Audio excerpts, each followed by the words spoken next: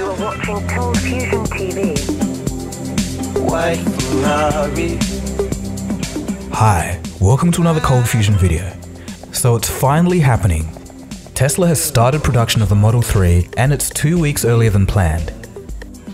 The Tesla Model 3 will be one of the world's first high performance, long range, medium priced, all electric car for the masses. Established car manufacturers may have fully electric cars, but they're either too expensive or lack the full focus of the parent company. This usually results in strange looking cars or glorified golf carts. This puts Tesla and the Model 3 at an advantage, but how long will this last? On the other hand, newcomers that are dubbed Tesla killers, like Faraday Future and Lucid Motors, may have good looking futuristic cars, but the brand recognition and loyalty just isn't there yet. And in addition, there's some uncertainty of real world performance as these vehicles aren't in mass production yet. In short, Tesla has a head start with the Model 3. This is the make or break moment for Tesla, a critical test to see if they can put all of what they've learned in the past 9 years or so into a mass market product. If they succeed, it would put the company in a better financial situation and solidify them as a leader in electric vehicles. But if they fail, it will be catastrophic for the company. In this video, we'll take a look at what's happening. The first deliveries of the Model 3 will take place on July 28th. Elon Musk stated that production would ramp up quickly and there would be 20,000 Model 3s produced a month, starting in December. He expects to push half a million cars a year by 2018. Despite this, delivery wait times are going to be very long according to Musk. He warned that buyers who want a car before 2019 need to make their reservations as soon as possible. Looking at the broader scope of things, research analyst Gene Munster likens the Model 3 to an iPhone moment not only for electric cars, but also for autonomous driving. What's behind your analogy between uh, the Model 3 and the iPhone? Well, the iPhone really set the stone, the, the stage for what smartphones could ultimately be. And I think the Model 3 has that same opportunity, not just for electric vehicles, but also for the opportunity around autonomy. This is going to be a radical change similar to the iPhone that was a radical change when we went from a flip phone to a computer in your pocket. So let's take a quick look at the specs. The most basic configuration of the Model 3 will get you 215 miles of range, but variants with bigger batteries could go over 300 miles in a single charge.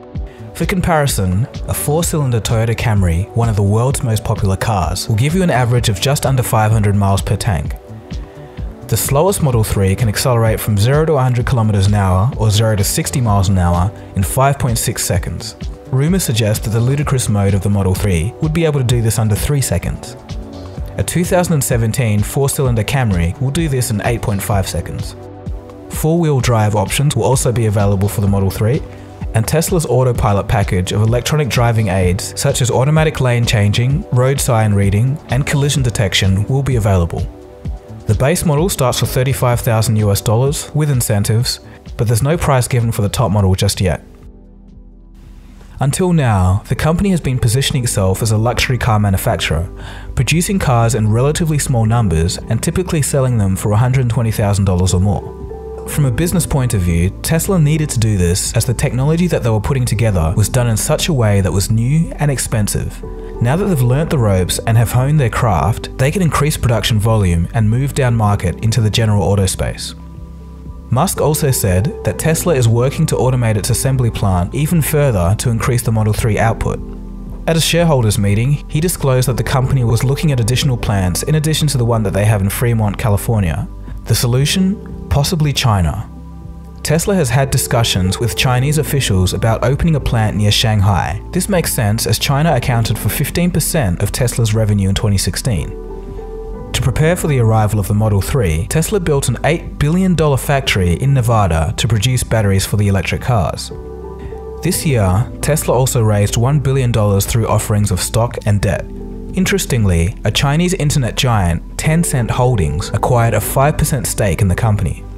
The company needs this extra capital because it continues to make losses each quarter. In the first quarter, Tesla lost 397 million, almost 100 million more than last year but its revenue has more than doubled year over year to 2.7 billion. So it all comes back to the Model 3. The Model 3 is the only real opportunity to turn this trend around. The clock is ticking and investors are getting nervous.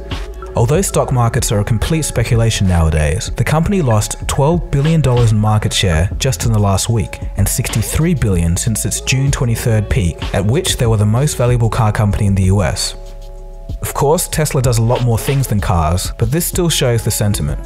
This drop in Tesla's stock price comes hot off the heels from Volvo saying that they're going to start phasing out petrol cars and eventually move to all electric cars. The competition is just around the corner and the stakes couldn't be higher.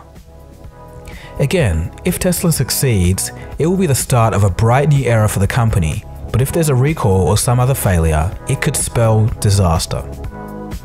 Regardless, this is a very interesting time in history right now, and I'm certainly watching to see what happens. In any situation, the consumer wins, and whether you love them or hate them, you must take your hat off to Tesla for getting this ball rolling in electric cars. I hope you liked that quick roundup about the Tesla Model 3 and what it means for Tesla. But on another topic, I know a few of you are going to be asking about my Bitcoin and blockchain videos, so I'm going to update you about that. So I've hit some delays as my original blockchain expert can no longer do a video in a timely fashion, so I've had to connect with some other experts. But in short, I'm still working at it, so don't throw stuff at the screen just yet. The videos are coming. Anyway, thanks for watching this video. If you're new here, feel free to subscribe. Give this video a thumbs up if you liked it. This has been Dagogo, you've been watching Cold Fusion, and I'll see you again soon for another video. Cheers guys, have a good one.